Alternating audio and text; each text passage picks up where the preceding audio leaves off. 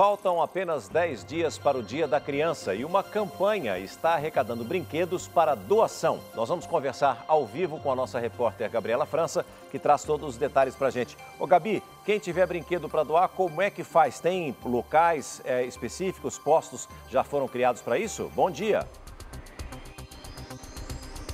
Tem estações um ótimo dia a você, a todos que nos acompanham. Olha só, a campanha começou aqui onde nós estamos, na estação Tatuapé, e foi crescendo, crescendo, e agora 17 estações já estão participando. E é nessa caixa aqui que o presente tem que ser deixado. A caixa que lembra um grande presentão embalado, toda linda, né? E essa aqui, pelo visto, ó, tá cheia, coisa boa.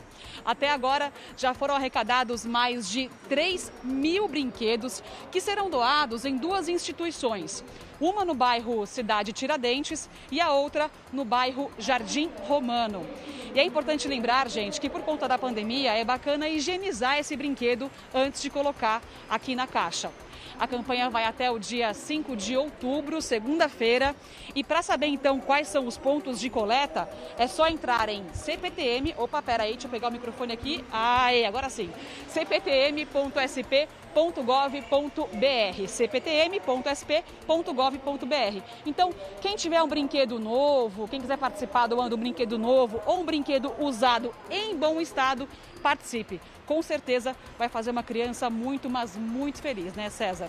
Voltamos ao estúdio do Hoje em Dia. Obrigado pelas informações, Gabi. Um ótimo dia a você.